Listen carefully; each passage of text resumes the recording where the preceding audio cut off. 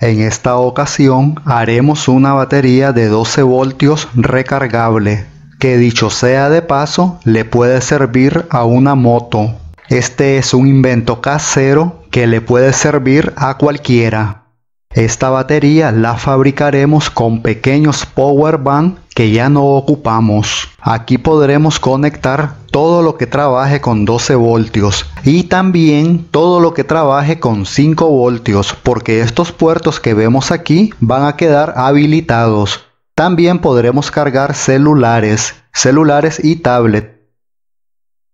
Aquí les presento una batería de moto para que ustedes mismos hagan una comparación en tamaño y que también cumplirá con las mismas funciones que esta batería de moto porque nuestra batería que fabricaremos será del mismo voltaje y aún con mejor capacidad. Bien, para hacer las conexiones tenemos que destapar todos estos pequeños power bank. Estos power bank yo porque los tenía ahí tirados sin hacer nada. Pero aquí lo que mandan son estas baterías.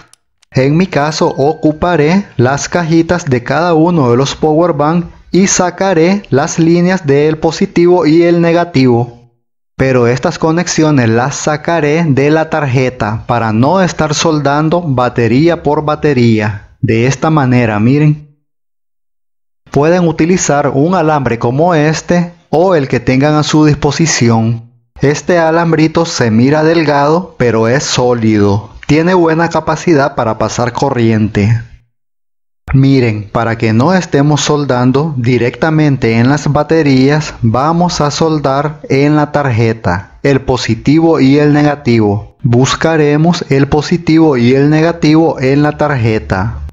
Y si un dado caso no tuviesen soldador, háganlo amarrado, pero asegúrense que les quede bien fijo. Vamos a ir guiando el alambrito en la dirección donde va a salir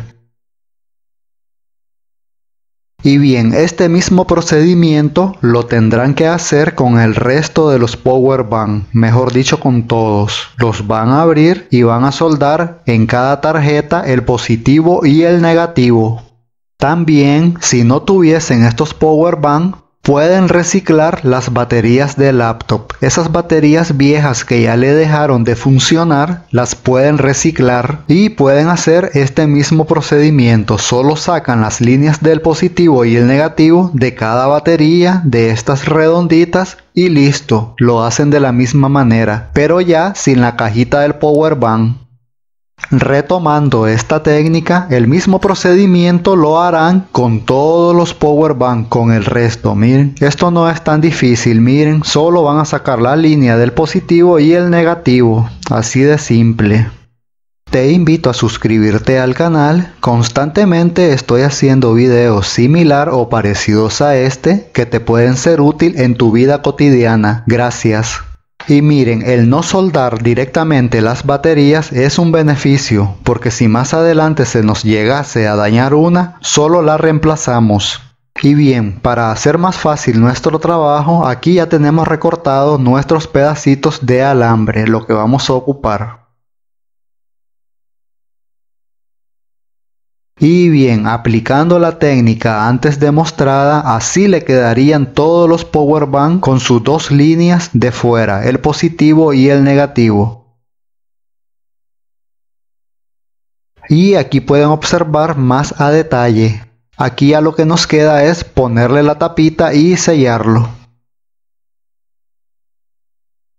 Recuerden que para este proyecto lo que estamos ocupando son 18 power bank y este video creo que se los extenderé a una siguiente parte porque es un poquito larguito. Espero no te pierdas la siguiente parte del video porque es muy interesante aprender cómo se pueden conectar varias baterías a la vez. Tal vez has escuchado mencionar conexiones en serie y conexiones en paralelo. Me atrevo a decirte que este es el mejor video para que aprendas cómo debes hacer conexiones en serie y conexiones en paralelo. Juntándolos todos logramos casi el mismo tamaño que el de una batería de moto. Te recuerdo suscríbete al canal que ya está lista la siguiente parte. Gracias.